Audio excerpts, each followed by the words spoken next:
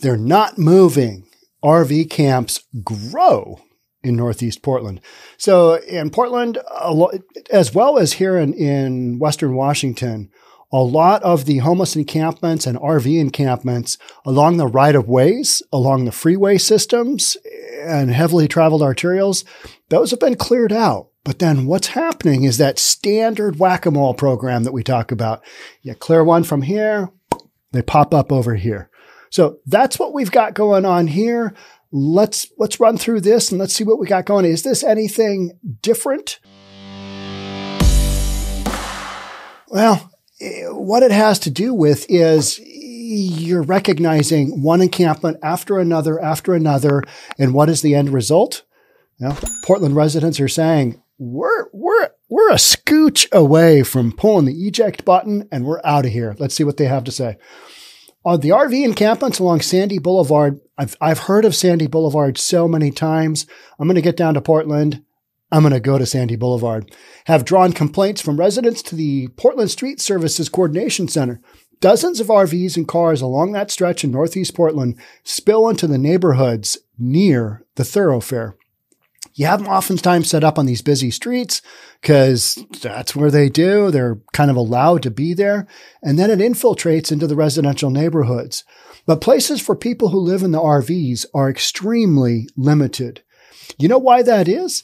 It's because when you put a whole bunch of people that live in RVs onto a lot, like we've had happen here in Seattle, like has happened in Portland in the past, you know what? Those don't pan out. So why is that? Well, because when you put a whole bunch of people in RVs into a lot, oftentimes it becomes unlawful, dangerous. People don't want to stay there. We have, we have checked this out many, many times as far as, hey, let's just build a lot for them. It'll be fine.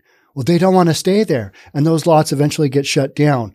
But we have this really short term memory. We don't seem to be able to remember that that was the case. And so then we're like, well, let's build them a lot and they can go all live there.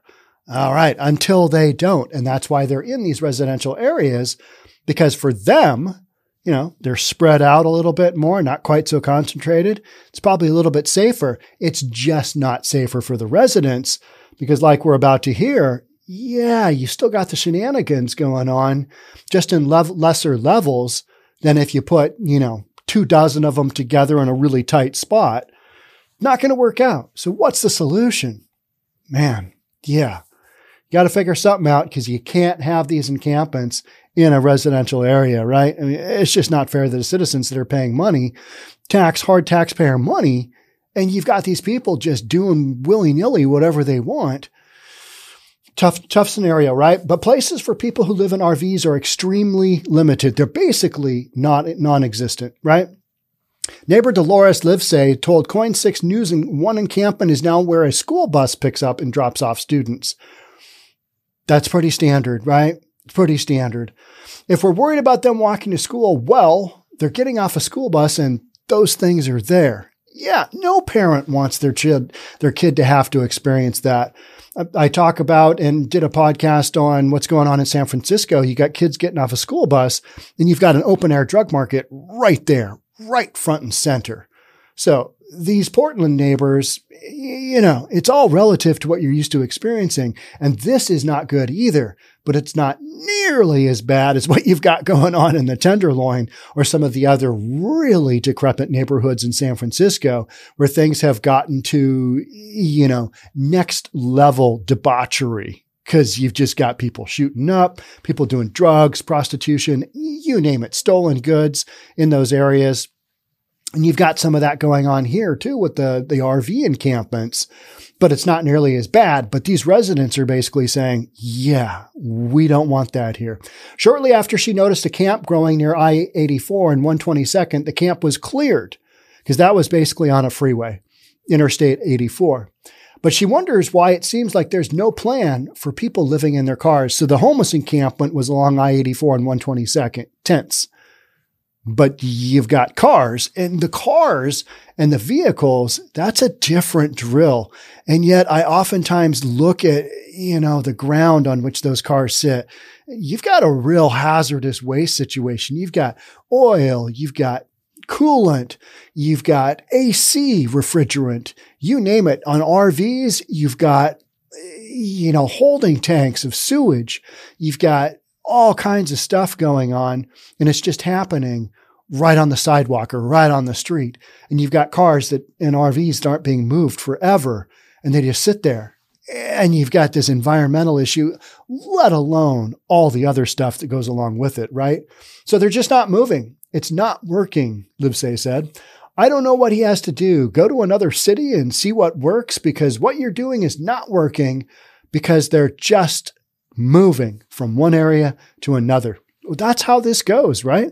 Till you set them up with a permanent spot. And even then, when you do that, a lot of these folks are going to say, no, it's just like the city run shelters, the county run shelters, you know, yeah, no, don't really want that shelter. I'll pass. Too dangerous. You got too many nut jobs on drugs in those encampments, in, in the sanctioned shelters.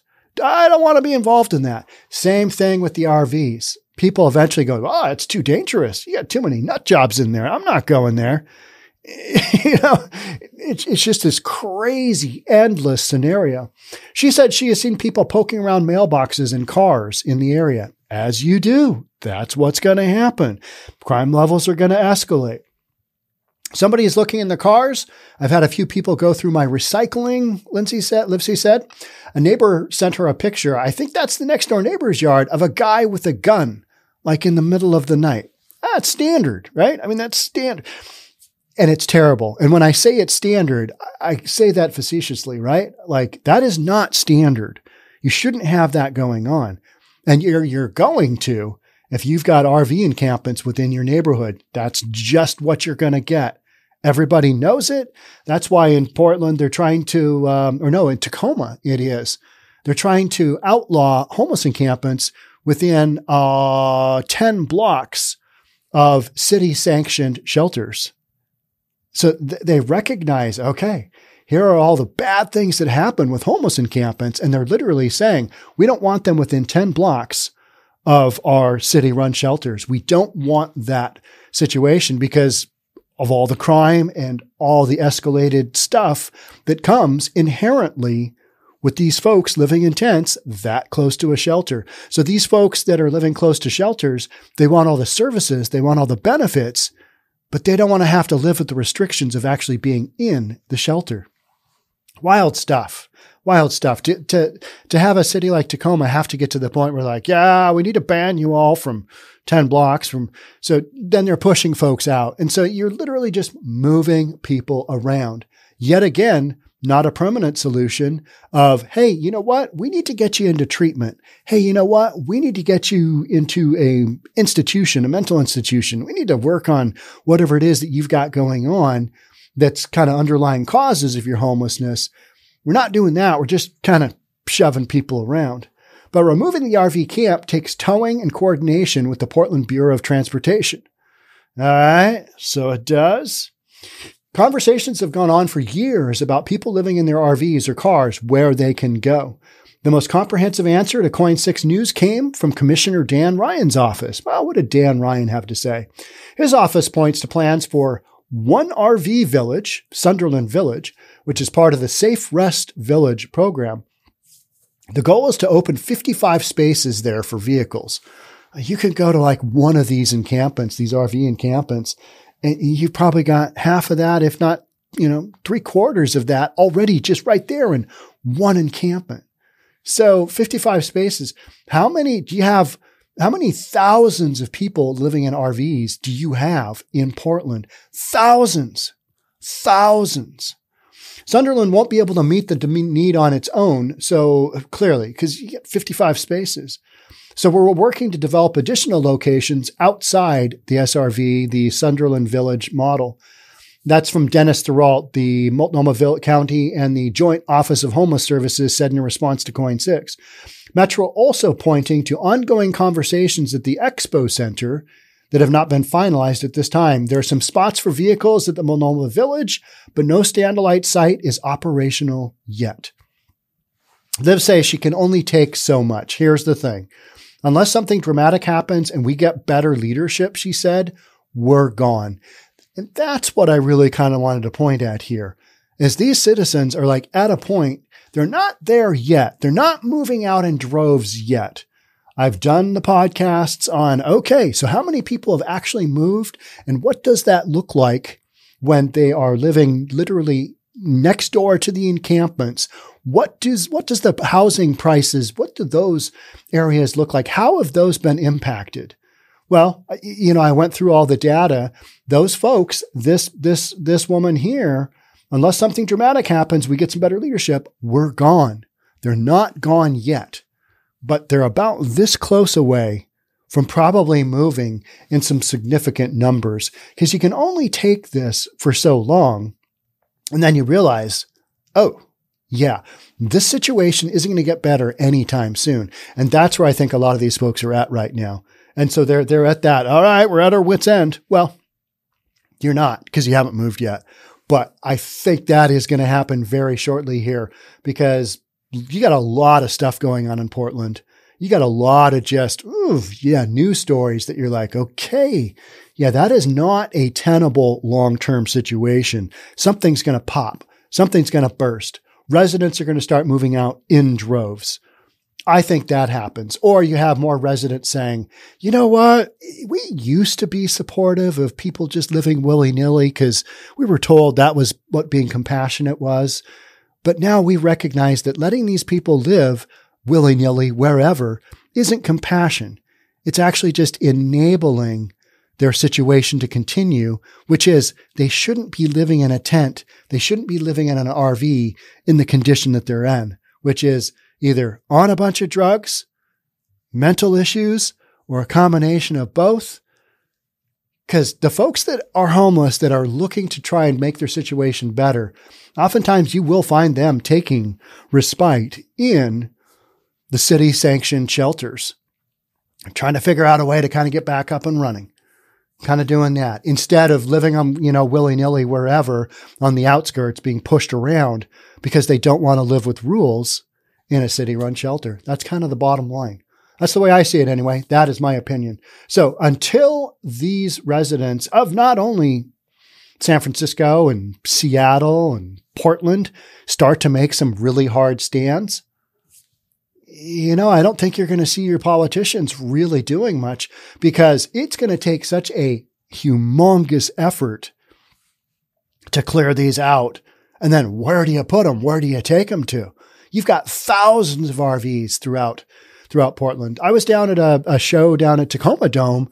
I was at Roger Waters of Pink Floyd. He's got this big multimedia show, and so we were we were getting down to to uh, Tacoma, and just outside of the Tacoma Dome, there's a couple of streets that are just you know loaded up with homeless you know people living in RVs. Just it was kind of a you know quasi industrial area and I had not driven on that road, I don't think ever, because we are t- kind of coming on the backside of, of the Tacoma Dome.